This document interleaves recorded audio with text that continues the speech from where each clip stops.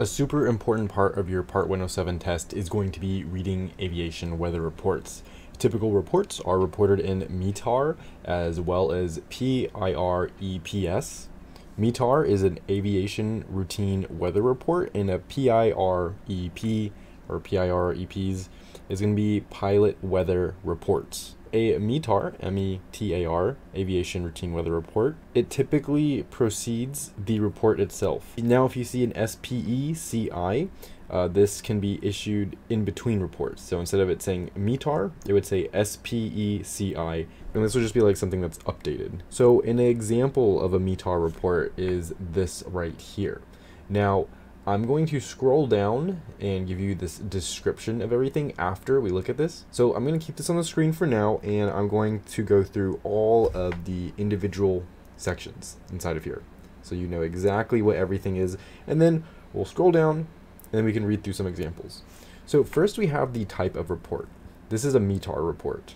Uh, if it's, again, if it's SPECI, it means it's an updated report. You next have K, GGG, now this is variable, the GGG part. The K is also somewhat variable, but in the 48 states, it's going to start with the letter K. If you're dealing with Alaska, it's going to start with PA. Hawaii, it'll start with PH. I like to think of it as if for Alaska, Pacific Alaska, that's where the PA comes from. And then you guessed it, for Hawaii, Pacific Hawaii. They're always going to have three letters after that, and that's just going to be the code for the specific airport. So it's always going to be different. So those are important. The next important part is the date and time. It's this next portion right here, 16, 17, 53. Of course, this is going to change for every report you look at. The first two digits are the day itself, currently. So it's the 16th day of the month. And then we have Zulu time. That's what the Z is for at the end. So the next four digits are that time.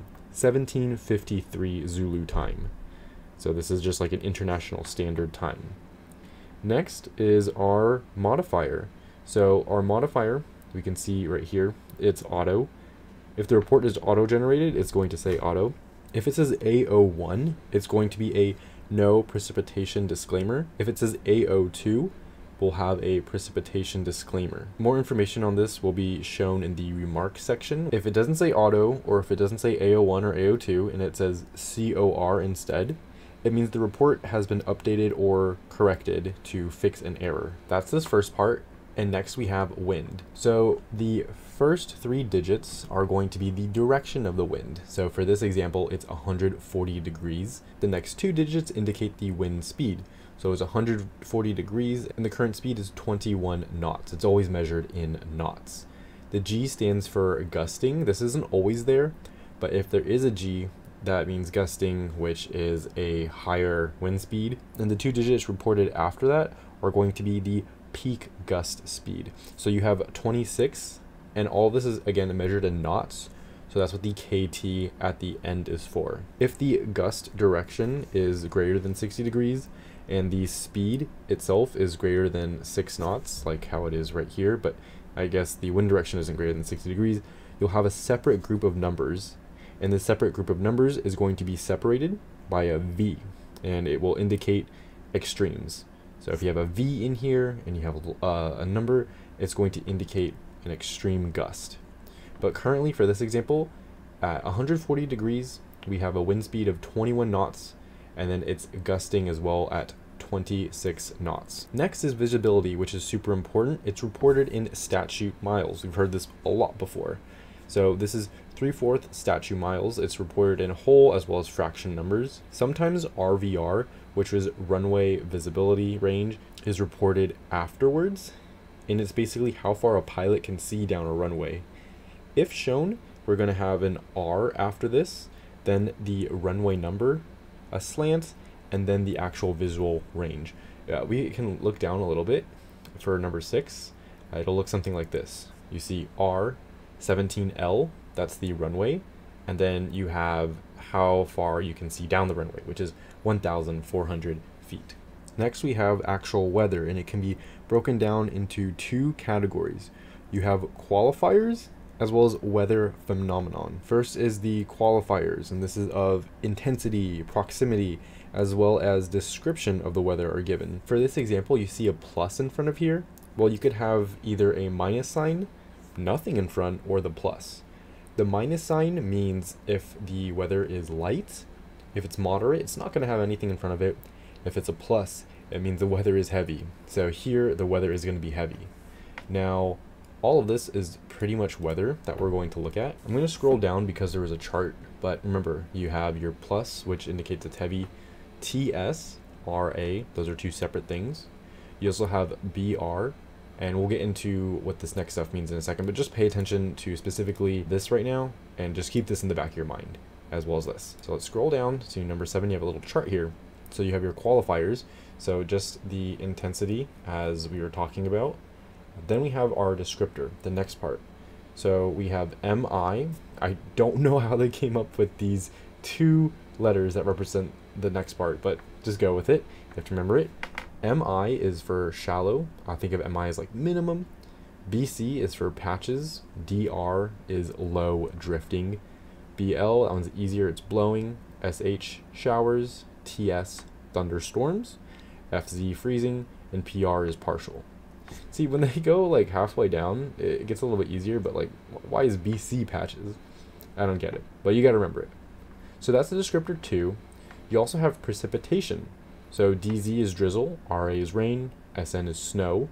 If you have snow grains, it's SG. Ice crystals, also called diamond dust, is IC. Ice pellets are PL. GR is going to be hail. GS is small hail or snow pellets. And then UP is unknown precipitation. You have an obscuration 4, and here you'll have BR for mist, FG for fog, FU for smoke, DU for dust, SA for sand, HZ for haze, PY for a spray, and VA for volcanic ash. Others that you might encounter would be PO, which means dusts or sand whirls. You have SQ, which is squalls. FC is a funnel cloud. If you have a plus FC, it's going to be a tornado or water spout. SS is sandstorm, and then DS is going to be a dust storm. So let's look back at our example that we have right here. We have a plus indicating we have some heavy weather. TS is thunderstorms. RA is going to be rain. BR is for mist. So we have heavy thunderstorm, heavy rain, as well as heavy mist in the sky. After this, so our weather part right here, we're going to have sky conditions. Very closely related, that's why I told you to keep this part in the back of your mind. You have BKN008 and then OVC012CB. We're about to go over what these mean. So for sky conditions, it's going to be reported in the following. You have amount, height, and then vertical visibility. The heights of cloud bases are reported with a three-digit number in the hundreds of feet above ground level. So that'll be something like this. Three digits, but in the hundreds of feet. So really, for this one, it's going to be 800. For this one, also three digits, and then in the hundreds, so this one's going to be 1,200. And this is above ground level. The amount of sky coverage is reported in eighths, of the sky from the horizon to the horizon. And so let's go down to number eight. We have a good example here. Uh, we have broken at 800, overcast at 1200 CB, and then for this one, we have VV003. Types of clouds that are specified are TCU, which are towering cumulus, and then CB, which is cumulonimbus clouds. Those are two you're going to have to watch out for. If we look at this chart here, you have sky cover. So if it's less than 1 eighth, it's clear. And this is represented with SKC, which is sky clear, CLR, which is clear, or FEW, which is few. 1 eighth to 2 eighth sky cover, uh, so this is clouds, is few. 3 eighths to 4 eighths is scattered. 5 eighths to 7 eighths is broken.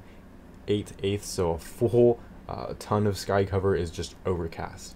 So for something like this, we have, again, sky conditions are measured in amount. So the first is going to be broken 800. The next is overcast at 1200. So that's a lot of clouds. Now let's look at temperature and dew point. We go on to this next part right here. We have 18 and then 17. Uh, this is always how temperature and dew point is going to be measured. It's measured in Celsius. Temperatures below zero are going to be preceded with an M. It's for minus. And this is temperature slash dew. So that's how you would look at that. Uh, the next is this A and then a four digit number. Now A stands for altimeter settings. It's reported in inches of mercury. It's a four digit number group preceded by the letter A. Rising and falling temperature of the altimeter is going to be indicated in the remarks. And this is actually what we have here. So if it's rising, we're going to have pressure rising, which is P R E S R R. These are super similar, rising and falling. Falling is going to be P R E S F R. So the only difference is rising versus falling in the acronym only one letter changes. Remember, this is all measured in Zulu time. Next is our remarks, which is basically talking about the altimeter settings. Now, remarks are going to begin with remark, or RMK, what we have here. Comments may or may not appear afterwards. And what's included? Well, included is wind data, variable visibility, beginning and end times to specific phenomenon, pressure information, and anything else that could be important to a safe flight. So this, that was just a summation, right? Here are the full notes, if you would like to take a look at them, all down here. We did look at some of these a little bit, um, but that's going to be it for this section. Next, we're going to look at aviation forecasts, and then we're going to look at convective significant meteorology information. Uh, we should be able to do that in the same video, and that's going to be it for chapter 3A, aviation weather sources.